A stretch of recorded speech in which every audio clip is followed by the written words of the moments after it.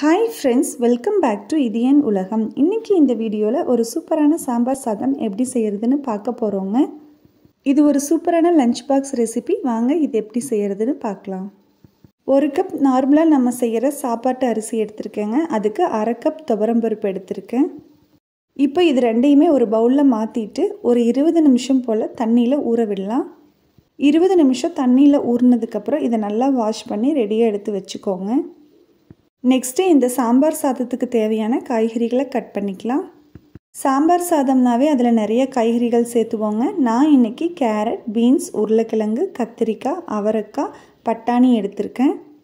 இன்னும் இதோட முருங்கைக்காய் வாழைக்காய் முள்ளங்கி சவுச்சவ் இந்த மாதிரி காய்கறிகள் எது வேணாலும் நம்ம சேர்த்துக்கலாம். இப்போ இந்த மாதிரி காயெல்லாம் கட் பண்ணி ரெடியாக வச்சாச்சு. உருளைக்கிழங்கும் கத்திரிக்காய் மட்டும் இந்த மாதிரி தண்ணியில் போட்டு வச்சுக்கோங்க. நெக்ஸ்ட்டு கொஞ்சமாக புளி எடுத்து அது வார்ம் வாட்டரில் ஒரு அஞ்சு நிமிஷம் போல் ஊற விட்டுறலாம்.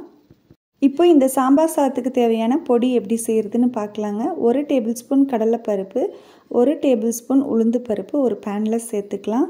கூடவே ஒரு டேபிள் ஸ்பூன் மிளகு ஒன்றரை டேபிள் ஸ்பூன் கொத்தமல்லி விதை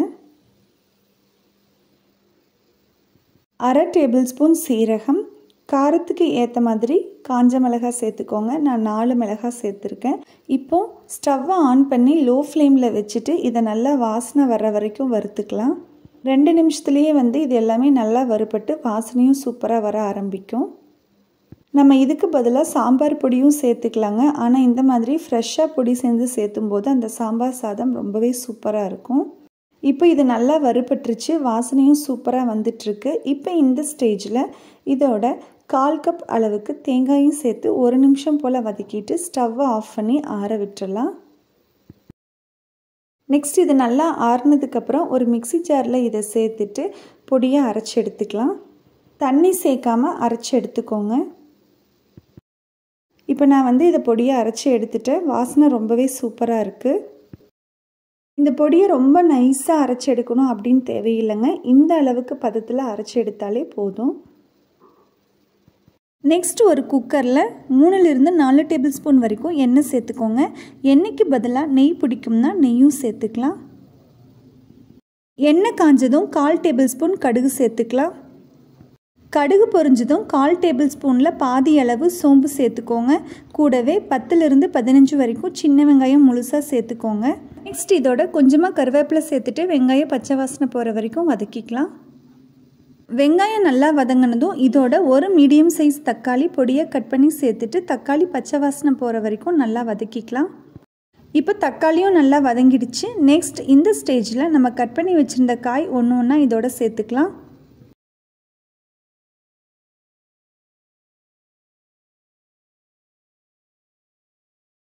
காய் எல்லாமே சேர்த்துனதும் இந்த ரெண்டு நிமிஷம் போல் நல்லா வதக்கிக்கலாம்.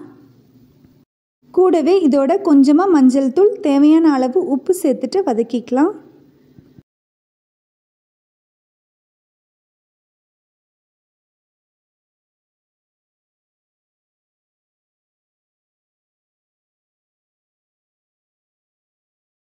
இப்போ பார்த்தீங்கன்னா காய் எல்லாமே ஓரளவு வதங்கியிருக்கு. இந்த ஸ்டேஜில் நம்ம அரைச்சி வச்சுருந்த பொடியை இதோட சேர்த்து நல்லா மிக்ஸ் பண்ணிக்கலாம்.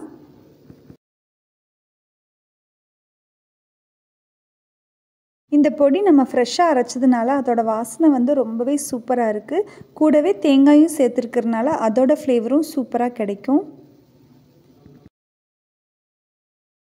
இப்போ இதை நல்லா மிக்ஸ் பண்ணினதுக்கப்புறம் தேவையான அளவு தண்ணி சேர்த்துக்கலாம். நான் இன்றைக்கி ஒரு கப் அரிசியும் அரை கப் துவரம்பருப்பும் எடுத்திருக்கேங்க. ஸோ டோட்டலாக ஒன்றரை கப் எடுத்திருக்கேன். இந்த ஒன்றரை கப் அரிசி பருப்புக்கு நாலரை கப்லேருந்து அஞ்சு கப் அளவுக்கு தண்ணி சேர்த்துக்கிட்டிங்கன்னா கரெக்டாக இருக்கும். நீங்கள் வீட்டில் உடனடியாக சாப்பிட்ற மாதிரி இருந்தால் நாலரை கப் சேர்த்துக்கோங்க. லஞ்ச் பாக்ஸ்க்கு எடுத்துகிட்டு போகிற மாதிரி இருந்தால் அஞ்சு கப் சேர்த்துக்கோங்க. ஏன்னா சூடு ஆற ஆற இது லைட்டாக டைட்டாக ஆரம்பிக்கும். இப்போ இதை நல்லா மிக்ஸ் பண்ணியாச்சு. நெக்ஸ்ட் இதோட நம்ம ஊற வச்சு ரெடியாக வச்சுருந்த புளியை நல்லா தண்ணியில் கரைச்சிட்டு வடித்து இதோட சேர்த்துக்கலாம். இப்போ இதை நல்லா மிக்ஸ் பண்ணிவிட்டு உப்பு காரம் செக் பண்ணிக்கோங்க. நீங்கள் முருங்கைக்காய் சேர்த்துற மாதிரி இருந்தால் இந்த டைமில் முருங்கைக்காய் சேர்த்துக்கிட்டா கரெக்டாக இருக்கும். குக்கர் விசில் போடுறதுக்கு முன்னாடி லாஸ்ட்டாக இதோட கொஞ்சமாக பெருங்காயத்தூள் சேர்த்துட்டு மிக்ஸ் பண்ணி விட்டுறலாம்.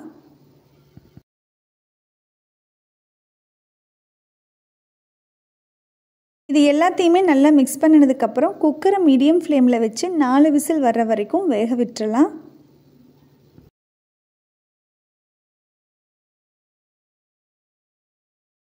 இப்போ பார்த்திங்கன்னா குக்கர் நாலு விசில் வந்துடுச்சு ப்ரெஷரும் போயிடுச்சு. இப்போ சாம்பார் சாதம் எப்படி வந்திருக்குன்னு ஓப்பன் பண்ணி பார்த்துடலாம். சாம்பார் சாதம் சூப்பராக ரெடி ஆயிடுச்சு. இதனோட வாசனை வந்து செம்ம சூப்பராக இருக்குது இப்போ இந்த ஸ்டேஜில் இதோட ஒன்றுலேருந்து ரெண்டு டேபிள் ஸ்பூன் வரைக்கும் நெய் சேர்த்துக்கலாம். நெய் பிடிக்காதவங்க அதே அளவு நல்லெண்ணெய் சேர்த்துக்கோங்க. இன்னுமே சூப்பராக இருக்கும். இந்த சாம்பார் சாதத்தில் எல்லா காய்கறிகளுமே சேர்த்துருக்கோம். கூடவே பருப்பு சேர்த்துருக்கோம். இது ரொம்ப ரொம்ப ஹெல்த்தியான ரெசிபியும் கூட. நெக்ஸ்ட் இதோட பொடியை கட் பண்ண கொத்தமல்லி இலை தூவிட்டு இதை நல்லா மிக்ஸ் பண்ணி விட்டுடலாம் எப்போவுமே சாம்பார் சாதம் பளபளன்னு இருக்கக்கூடாதுங்க. அதை நம்ம கரண்டி வச்சு இந்த மாதிரி கலக்கும்போது தொட்டாவே குழஞ்சி போயிடணும். அந்த பதத்தில் இருக்கணும். இந்த சாம்பார் சாதத்தை சூடாக கூடவே ரைத்தா வச்சு சாப்பிட்டோன்னா டேஸ்ட் ரொம்பவே சூப்பராக இருக்கும். அவ்வளோதாங்க இது சூப்பராக மிக்ஸ் பண்ணியாச்சு. நான் உடனே சாப்பிட்றதுனால ஒன்றரை கப் அரிசி பருப்புக்கு நாலரை கப் மட்டும்தான் தண்ணி சேர்த்துக்கிட்டேன். ஆஃப்டர்நூன் லஞ்சுக்கு நீங்கள் கொடுத்து அனுப்புகிறதா இருந்தால் அஞ்சு கப் தண்ணி சேர்த்துக்கிட்டிங்கன்னா இன்னுமே கொஞ்சம் குறைவாக இருக்கும். ஆஃப்டர்நூன் லஞ்சுக்கு சாப்பிடும்போது கரெக்டான பதத்துக்கு மாறிடும். அவ்வளோதாங்க சூப்பரான ஹெல்த்தியான சாம்பார் சாதம் ரெடி ஆயிடுச்சு. நீங்களும் இதே மாதிரி வீட்டில் ட்ரை பண்ணி பாருங்கள் உங்களுக்கு இந்த வீடியோ பிடிச்சிருந்ததுன்னா மறக்காமல் லைக் பண்ணுங்கள் ஷேர் பண்ணுங்கள் கமெண்ட் பண்ணுங்கள் இன்னும் நீங்கள் இதே நூலகம் சப்ஸ்கிரைப் பண்ணலைன்னா மறக்காமல் சப்ஸ்கிரைப் பண்ணுங்கள் தேங்க்யூ